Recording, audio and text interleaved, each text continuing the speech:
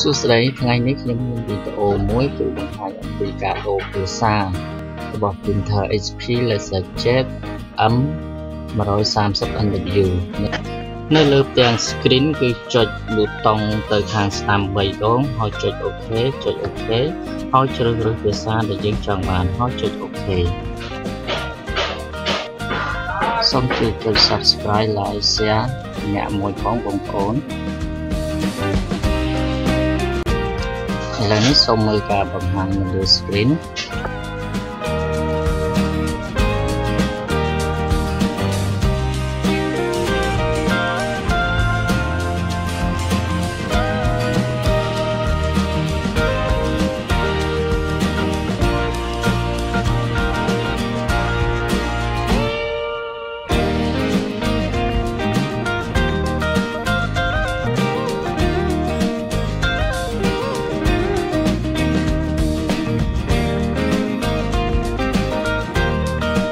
ការបង្ហាញនៅលើ screen សូមចុចទៅលើភាសាដែលយើងចង់បានហើយ select OK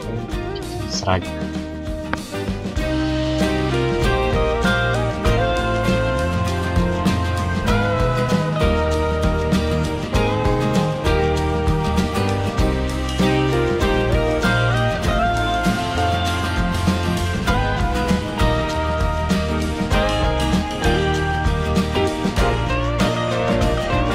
សូមមើលការបង្ហាញម្ដងទៀតអត់1 2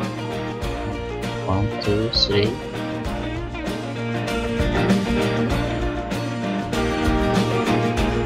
ខេអូខេបាទយើងឃើញភាសាហើយយើងអាចចុច key ទៅខាងឆ្វេងក៏បានឬខាងស្ដាំក៏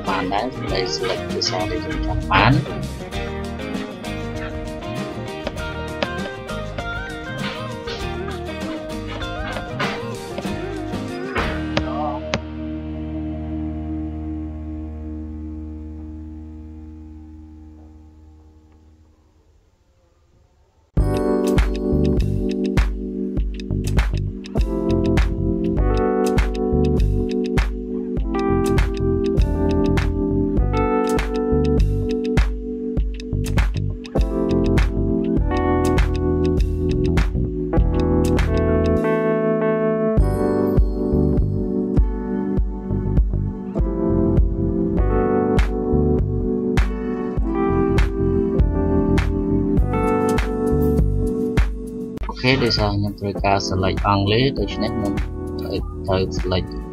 អង់គ្លេសហើយចុច OK OK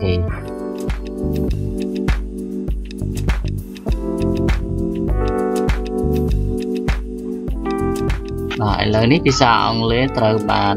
ដូរហើយដូច្នេះយើងអាចមើល setting នៅខាងក្នុងបានហើយយើងអាចដូរទំហំกระดาษអីបានបាទ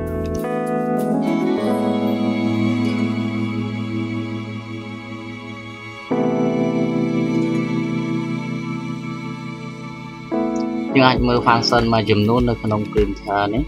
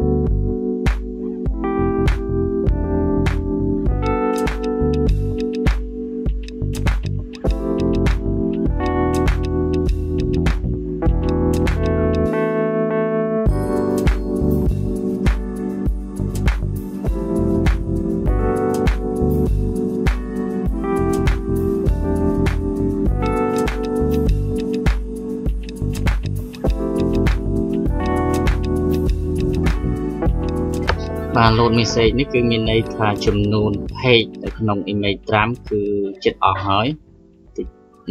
បន្តិចប្រើបន្តិចទៀតនឹងត្រូវដូរហើយ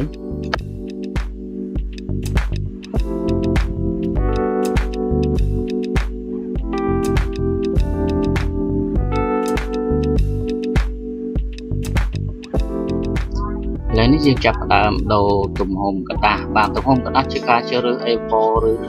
letter នេះគឺនៅពេលដែលយើង copy មកអត់ពេញហើយយើងចុចប៊ូតុង copy ហើយយក ID copy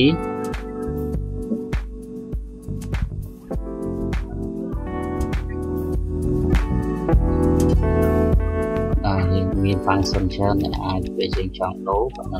សំខាន់គឺយើងចូលជ្រើសរើសទៅ paper ពីក្រដាស់ ឲ្យចុច OK បាទប្រសិននេះមិនបានដូរជា A4 ហើយប៉ុន្តែបើសិនជាសិនដែលស្ថិតនៅកន្លែងជាប់ letter គឺបើសិនជារូបផ្កាយជាប់នៅក្នុង letter មានន័យថា default របស់ម៉ាស៊ីន print នេះគឺ letter ដូច្នេះយើងត្រូវចុច key ទៅ stamp ហើយ select យក A4 ចុច OK នោះសញ្ញាផ្កាយនឹងជាប់នៅក្នុង A4 ហើយនោះមានន័យថាម៉ាស៊ីនរបស់យើងគឺកំពុងតែ copy ឬ scan កំពុងតែ copy នៅក្នុងគម្រោង A4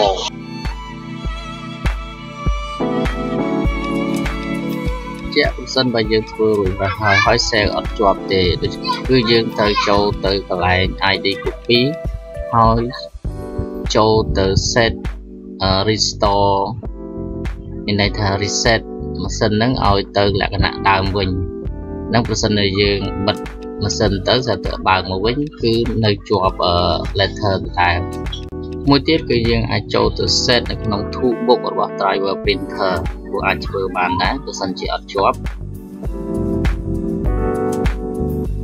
ផ្នែកនេះគឺបង្ហាញអំពីការដូរទឹកថ្នាំ printer HPM 130 A ដូចគ្នាទេគឺ seri ជាមួយ NW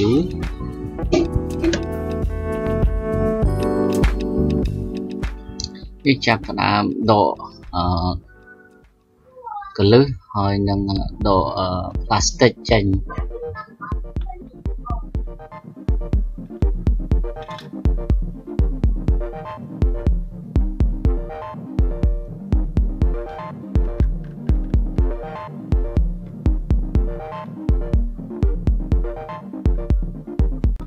ហើយយើងចាប់ដើមបើកុំមកហើយដាក់ទឹកថ្នាំចូល ហើយបិទកុំមកវិញឲ្យម៉ាស៊ីនដើរដំណើរការមកចប់ចាំធ្វើការ copy តេស្ត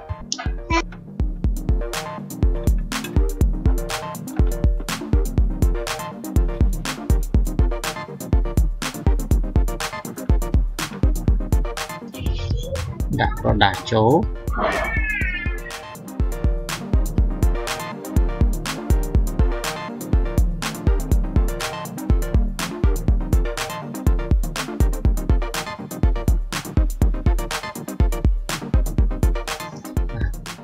ហើយចាប់ដើមដល់ភ្លើងចូលបើកម៉ាស៊ីនឲ្យដំណើរការហើយនឹងរងចាំបន្តិច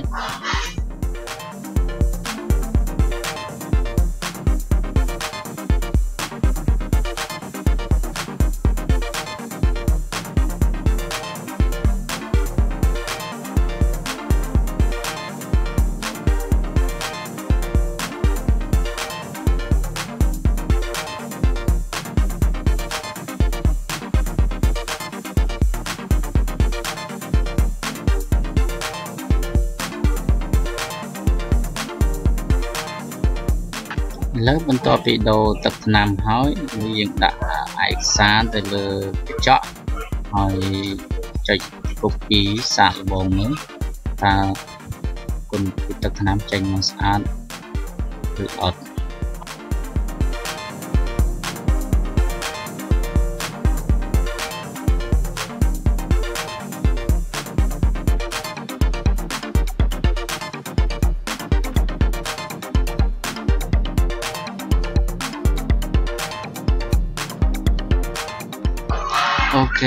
លទ្ធផលចេញមកគឺស្អាតហើយដូច្នេះប្រសិនបើវីដេអូនេះអាចជួយបងប្អូនបាននៅពេលលើឬក៏ថ្ងៃក្រោយសូមជួយចាប់សូមជួយចុច Subscribe Like Share ម្នាក់មួយផងហើយផ្នែកនេះសូមបង្ហាញអំពីការចាប់តាមដំបូងមកតម្រាំទៅរកដូរភាសាបានគឺយើងត្រូវរៀនច្រើនដូរច្រើនសារភាសា ម៉ាស៊ីននេះគឺជាប់ភាសាចិនហើយដោយសារខ្ញុំមិនសូវចេះភាសាចិនផងនោះគឺធ្វើឲ្យមានការលំបាកដូច្នេះពេលដែលខ្ញុំអាចរៀនឃើញហើយគឺខ្ញុំធ្វើវីដេអូនេះបង្ហាញដល់អ្នកទាំងអស់គ្នាបាន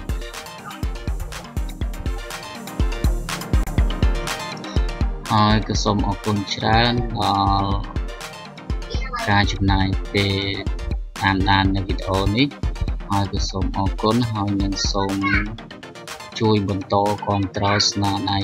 កូនខ្មែរបន្តទៀតទោះបីថាវីដេអូនេះមើលទៅមិនទាន់ល្អគ្រប់គ្រាន់ក៏ដោយហើយនឹងព្យាយាមធ្វើឲ្យកាន់ល្អបន្ថែមទៀតសូមអរគុណសូមជម្រាបលា